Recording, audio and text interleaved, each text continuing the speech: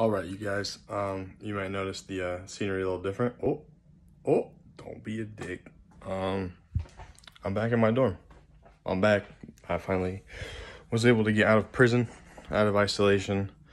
Um, feels good to be back. I got, I, I slept in today. Slept in way too long.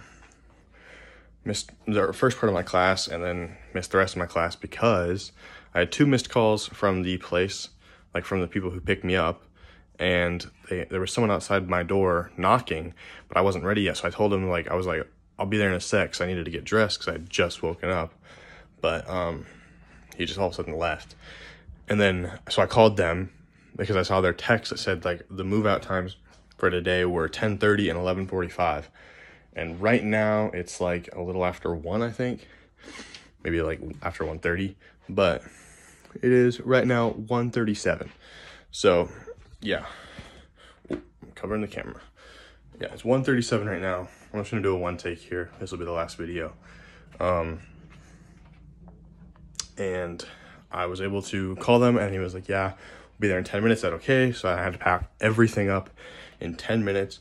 I packed everything up, got it all set up again already, computer, my whole setup there. Haven't undone the suitcase yet. It's still there. The drawing still isn't finished. I never got to that, but we'll soon. Uh, came back to a package, and it was either going to be a textbook or from my mom, and I was like, oh shoot, this kind of looked textbook size. You know, it's kind of rectangular.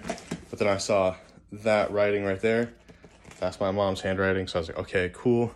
Because she sent a little care package and she found out I was sick. So I'll show you guys some of the stuff I got. I got some some tea, some black tea, some mango tea, as it says on the bag um, some soup, I think. Yeah, soup. Some Emergen-C, which I love this stuff when I'm sick. Oh, where is it? There it is. Yeah, that's good. Really good. Uh, some honey. Cute little bear. Um, some cough drops. Always good. They're up in there somewhere. Um, and then I got some of the snacks that we brought home from Hawaii. So these like they're like chocolate churro like chips kind of but they're like sweet you know? Very good. Then there's these macadamia nut shortbread cookies also very good. And then probably the most expensive brownie i've ever had. We had a whole box of those. Very good. Got one of those definitely boosts the spirits it's nice to like it's one thing to have like a care package you know when you get back or like like when you're sick and it's like you know it's nice it helps you get through it it's like and it helps you get better. But like when you can come back and then be like, yeah, like now I'm better, and then now I get to like actually enjoy all these things, and then also have the sick stuff for like when I'm sick next time. I also got a mug for the tea, but yeah, and that's pretty much it. I'm moved. I'm moved back in. Um, I need to go get my textbook still because those never came. I'm gonna go get lunch soon because as soon as while I was packing, lunch got delivered, and then when they got there, they're like, "It looks like your lunch is here," and I was like, "I don't, I don't need it. I'm moving. I'm going back home, and I'll just eat when I get back." So I'm gonna go get food. Um, that's gonna be it for this series. Uh, five days, five full days, and then a little bit of today, but I was asleep for most of it. So we'll call this this will be day six. Going home. No more isolation. Um, yeah.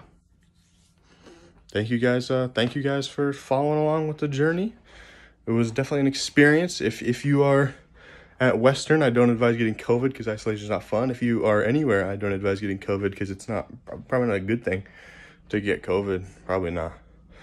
But uh but yeah um now i just gotta wear this thing when i'm around people for the next five days so but match it it's heritage you know what i'm saying?